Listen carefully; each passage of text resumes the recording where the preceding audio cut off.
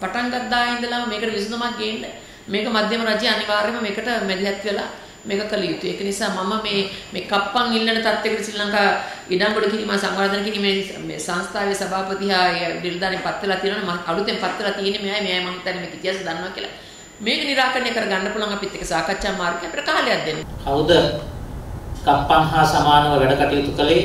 ඒ වාර්තාව හරියටම බැලුවොත් මම හිතනවා අපගේ නගරාධිපතිතුමියත් ඒ වාර්තාව හොඳට පරිශීලනය කළා නම් අදට ඒකේ වැරදිකරුවෝ කවුද නගර සභාවේ තාමත් සේවය කරන අය කියන එක බලලා මේ සම්බන්ධයෙන් ඇත්තටම හොඳ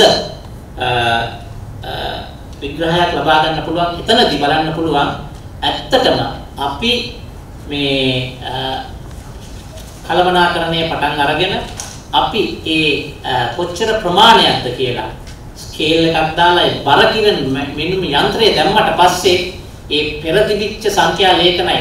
කුණු කොච්චර ටොන් ගණන් වලින්ද ඒ මීතර මුල්ලට ගියේ? කොච්චර ටොන් ගණන්ක්ද බර කිරද්දි?